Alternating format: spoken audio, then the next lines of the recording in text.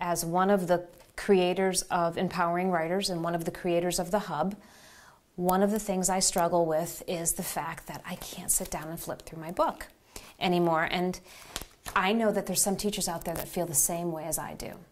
So, through the magic of technology, what we're able to give you now is the same flipping experience that we all know and love so well.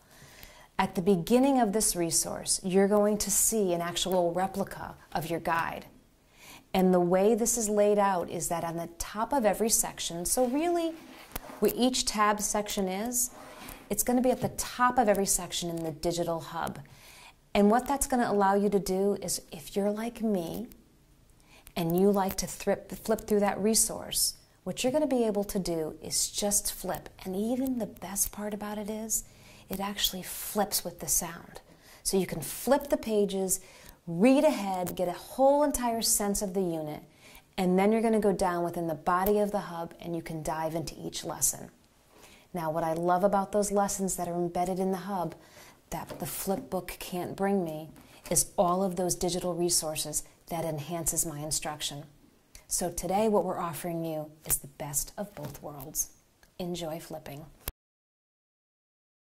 Today we're going to learn how to utilize the flipbook within our online guides. The flipbook is located in every section, but let's assume we're working on section 3. When the book loads, you will see the cover page. From this page, you can navigate to any lesson within a section in one of two ways. The first way would be to click the section on this book page to flip to it. Just like a hardcover book, you can flip the pages by clicking the bottom of each page, the right corner to go forward and the left corner to go backward. In the same way, you can utilize the arrows on either side of the flipbook to navigate back and forth.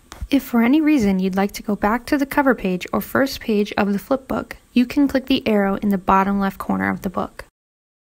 The second way to navigate from section to section is to utilize the table of contents list on the left side of the screen.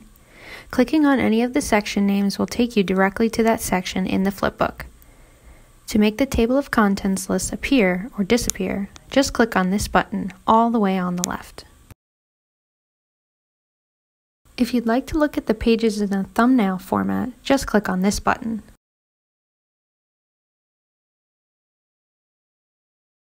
Just like the Table of Contents button, click it again if you'd like the thumbnails to appear or disappear.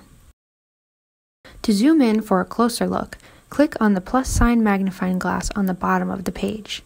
You can utilize the plus and minus buttons or the slider to zoom and unzoom. To enter the two-page view again, just click the magnifying glass again. To add a note to a particular page, click the callout button at the top right corner of the book.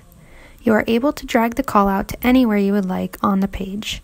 You can begin typing your note and color code it for later reference. To add another note, just repeat the process. When you'd like to view all the notes you have made, click the callout button at the bottom of the flipbook. Clicking on the note will bring you directly to that page. If you'd like to delete a note, just click in the typing area and click the trash can button. Finally, if you'd like to search for a specific word or key phrase, you can click the magnifying glass in the top right corner of your screen. That word will then be highlighted and you can click on the selection down the right side of the page to see it in the book's location.